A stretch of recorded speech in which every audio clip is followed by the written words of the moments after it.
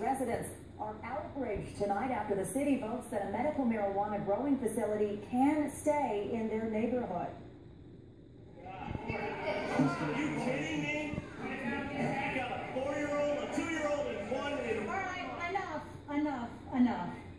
The 20-acre grow operation is planned near Deer Valley and Cave Creek Roads. The state's medical marijuana laws require that operations like this one be at least 1,000 feet from nearby homes.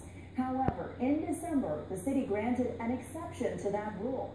Residents say they are worried about two nearby schools and that the business will hurt their property values.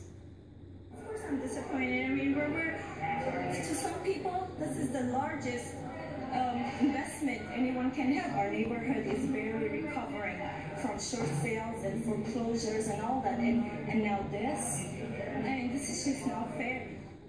Residents we spoke with say they will appeal. Also.